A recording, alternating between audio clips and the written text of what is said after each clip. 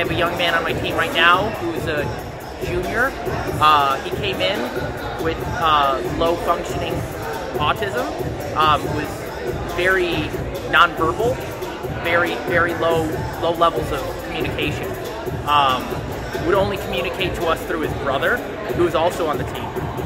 Which and now as a junior, he actually is cracking jokes with other members of the team and stuff like that. So I think that showing that level of growth and seeing that kind of kid, the kid who doesn't quite belong anywhere else, where there's no other sport that will accept him in the way that I feel like gymnastics can.